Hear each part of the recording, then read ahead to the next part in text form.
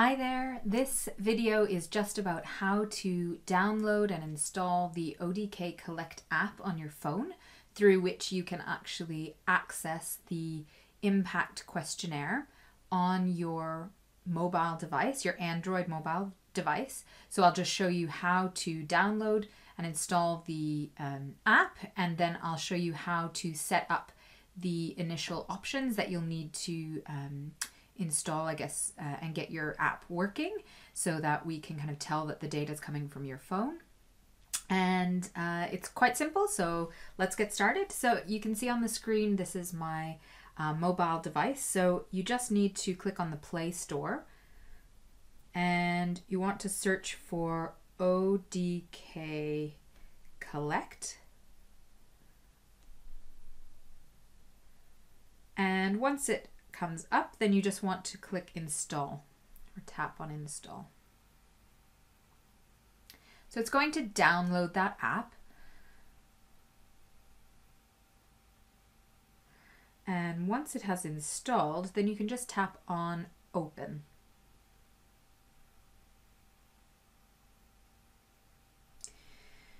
You might see a pop-up box. They allow ODK Collect to access photos, media, and files on your device. This is just so you can take photos or audio recordings in a questionnaire and it will attach those to your questionnaire. So you might want to uh, just tap allow.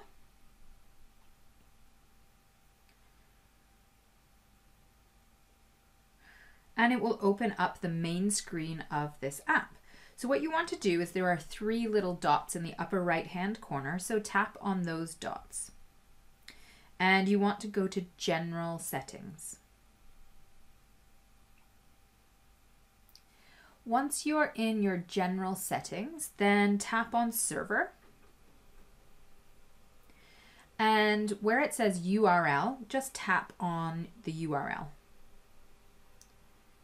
Okay, so they've just put a default URL in there. And what we want to do is just delete uh, the main part of that URL and put kc dot kobo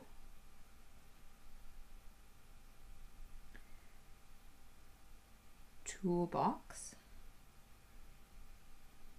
dot org and then tap OK. Okay, so you've got your URL in there. And then what you want to do is just enter the username and password that you've been sent. So I will enter in the username and tap OK. And I will enter in the password.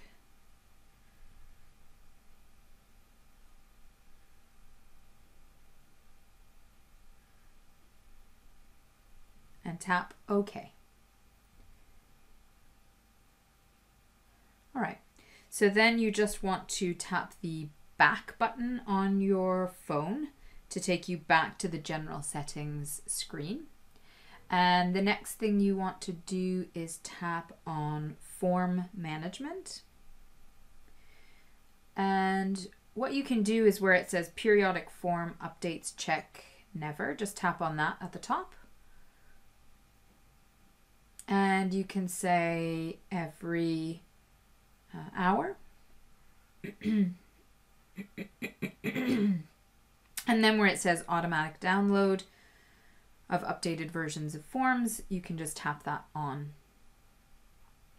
If you scroll down to auto send, tap on that and just tap on Wi-Fi only which means when your Android connects to Wi-Fi, it will just automatically send any forms that you have already filled out, but it won't send them um, over, say, a data connection, which might charge you um, at whatever rate your phone or your, your phone data um, charges. So uh, do that. And then where it says delete after send, just tap that. So that will delete the finalized forms and all media from your phone after you send it to the server.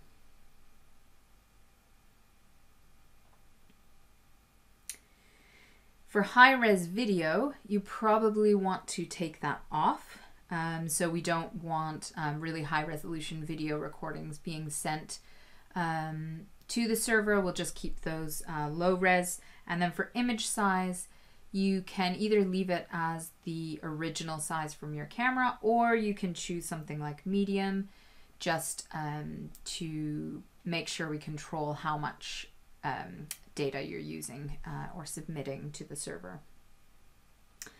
Okay, and then that should be everything that you need to change there. So just tap the back button and then go to user and device identity. And where it says form metadata, just tap on that there. And it will ask you another pop-up question. Allow ODK Collect to make and manage phone calls. So just say allow. Now, uh, at the top, you have some user-defined metadata. So tap on username.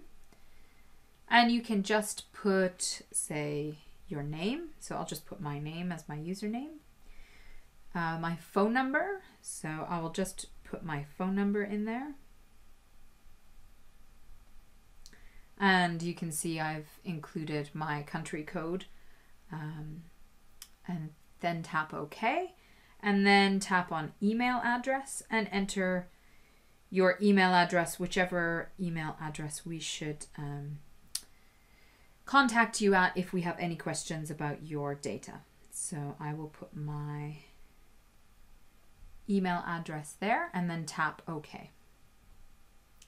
So now we have the username, phone number, and email address for your specific data filled out. Uh, the device defined data is just there automatically, but um, you just need to define that user user defined metadata. And then you want to tap the back button on your phone once again.